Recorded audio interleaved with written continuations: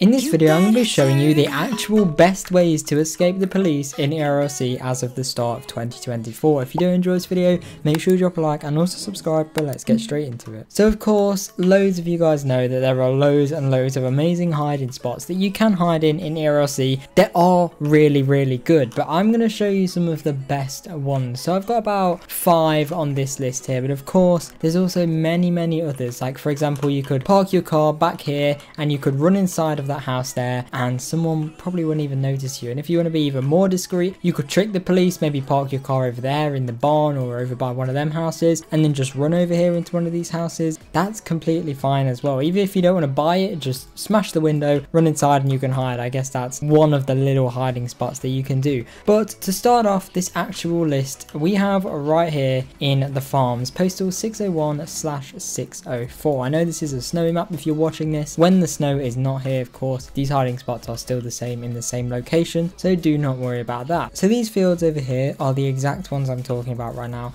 Bear in mind, you have to, you can't go in these little ones here because they can't really, they don't really hide you, and then ones over there you can't even drive in anyway. But these bigger ones over here, you can drive in, and if you just stop in the middle as you can see, no one can see you're here. Obviously, no one else sees my little voice chat logo, so ignore that. But as you can see, nobody even knows I'm here. You literally can't see me unless you actually drive into this and drive under it, which to be fair, doesn't happen very often. Not too many people even check this anymore. Of course, if you do drive in, as you can see, you will be able to see like the little tire tracks from your vehicle, as you can see there. But as soon as you stop, they will go away, as you can see. They've gone away now. So this is a very, very good hiding spot. And of course, you can hide in this one as well. And the good thing about this is you have multiple places to go after this. So if the police are coming from over there, you can either go left and then left and then onto the highway. You can go straight past the prison. You can go right. You can go through the barn. Or even better, you can come through here sneak through this little fence and go straight out over there in a place where no one really goes on the map. Or you can come up here. There's so many different routes you can take to escape the police. It's a very, very good hiding spot for that reason. Let's move on to the next one, which is actually just straight inside of the sheriff's office or the police station even. If you think about it, the police aren't going to check their own station. So you will have to park your car somewhere out of the way. You could maybe park at a house, maybe buy one of those houses down there that have a garage and park it in the garage and you no one will know you're here and then run inside and you want to go in one of the rooms that the least people go in. So I kind of recommend this room and then if you kind of come over here around the back and then you can kind of like sit down and hide yourself in the corner and it's unlikely that people are actually going to see you here because in reality when was the last time you actually came in this room and checked if someone was hiding behind the desk? Like it doesn't happen. No one really checks this. So you find of course there's other places you can go as well. You can come in maybe not here it's the entrance. Maybe you could run through here and like hide behind the desk as well but then you got there's a few different places you can hide in here. Just make sure you choose the best one for you. Of course you can do the same at the police station and the fire station and the dot place and you can hide in like the hair salon for example. You can hide in the clothing shop. Little places like that are just the best ways to go. Now the next one is actually something very, very unique. So if you are being chased by the police helicopter, that's one of the worst things you can get happen to you in ERLC because honestly there's not much you can really do except there is one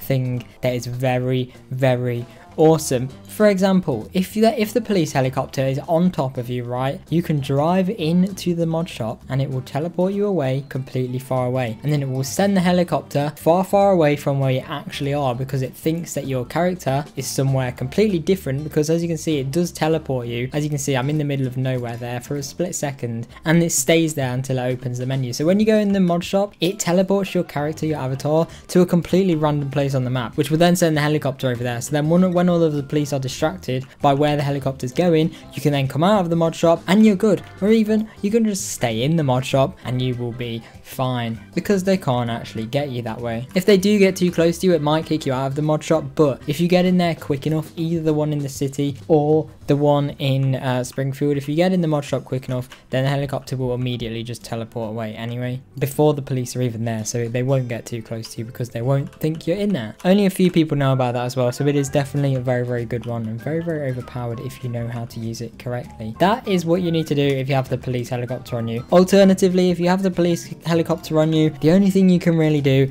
is try and shoot it down or just keep driving. If you know you can't get into a mod shop for whatever reason, then make sure you have fuel. As soon as you see that notification, drive straight over to a fuel station. I recommend having like probably no less fuel than I have right now. So you want to aim for about half fuel as a minimum. A little bit less is fine, but you don't know how long the police are going to be chasing you for after, or you don't know how fast you're going to be going or how much you're going to be driving. So definitely make sure you've got enough fuel. If you've got less than half fuel, I would make your priority to go straight to the fuel station as soon as you see the helicopters on you before the police can even catch up to you. And then you can just drive around and hope that your driving skills come in clutch. If they do start chasing you with the helicopter, take different roads. Do not go on roads where they will spike strip you. For example, don't just head straight down here and then onto the highway because there's some spike strips on the highway. You want to be heading kind of in and out here, then maybe do a little turn around here just like this don't crash like that but then do a little turn here then maybe go right here and don't just go in a straight line. Keep making as many turns as you can. Maybe switch to the other side here then here then go through here. Don't go on the road then you can cut back out here. Come around here.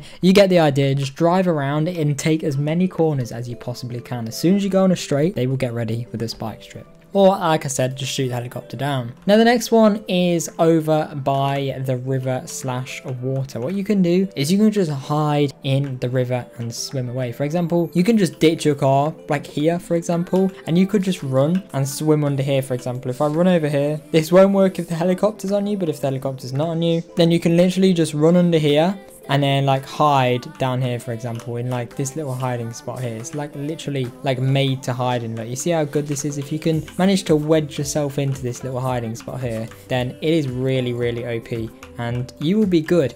And instead of having to hold yourself here if you press the slash whilst holding w or whatever button you want to it will bring up the chat but it will keep you moving at the same time. So i'm not pressing anything on my keyboard right now but i'm still the game still thinks i'm holding w if that makes sense. And even even if you just look, you can't even see me in the water. Even if you jump in, it is quite difficult, especially if you get a camouflaged avatar. And of course, you can do this in the river or the lake or wherever you want to do it. It will work the same. Just stay at the bottom and hide under the water. And finally, the last one is probably the best one out of them all. And this one is to be undercover. Now, I don't mean be undercover on police. I mean just act like a civilian. For example, spawn in a really, really cheap looking normal civilian car or just a car that isn't heavily modified. Just like this, drive around.